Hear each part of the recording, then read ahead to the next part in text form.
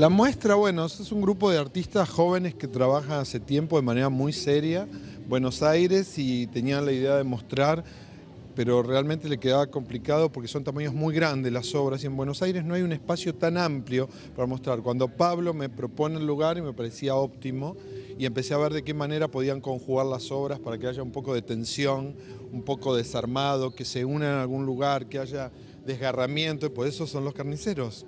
Esa es la idea. Sí, realmente es incomparable la cantidad de pared, el espacio, eh, eh, la distancia que uno puede tener con la obra para admirarlas y bueno, y la calidad de los artistas. Así que, bueno, este espacio de la Fundación Barra que se suma a la movida del arte, ¿no? Realmente un, espacio más.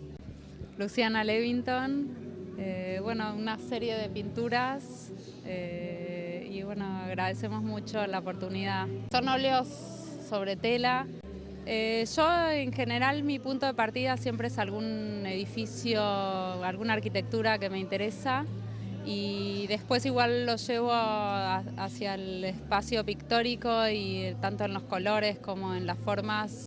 Soy Natalia Lovelo y mi trabajo es óleo también sobre tela y mm, son flores y mm, habla un poco de la fuerza de la naturaleza. ¿no?